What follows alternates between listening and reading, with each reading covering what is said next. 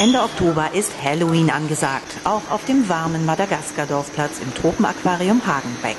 Die Tierpfleger haben einiges vorbereitet und das haben auch die elf Katas gemerkt. Gespannt stürmen sie am frühen Morgen aus ihrem Nachtquartier.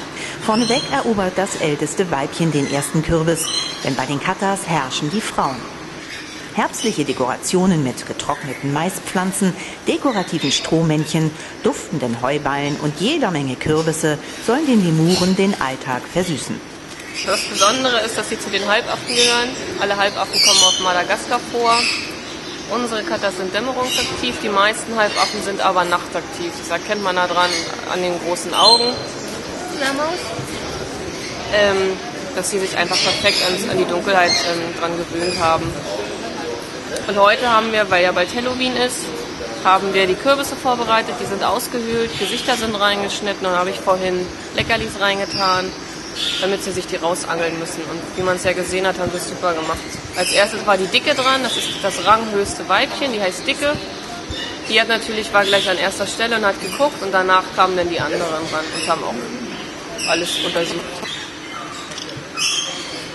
Ihr geringelter Schwanz macht die Halbaffen unverwechselbar, auch wenn sie damit nicht greifen können, sondern sich abstützen und ihre waghalsigen Sprünge ausbalancieren.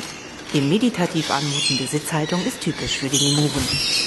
Auch die Presse hat ihren Spaß beim Termin mit Katas und Kürbissen, der ruhig und harmonisch verläuft, obwohl gerade jetzt die eher unruhige Paarungszeit der Katas beginnt. Die enge Sozialstruktur dieser Primaten wird sowohl bei der Körperpflege deutlich, die sich nicht nach einer Rangordnung richtet, oder auch beim Schlafen, wenn alle Tiere eng zusammengekuschelt beieinander liegen. Berührungsängste kennen Hagenbecks Katas kaum.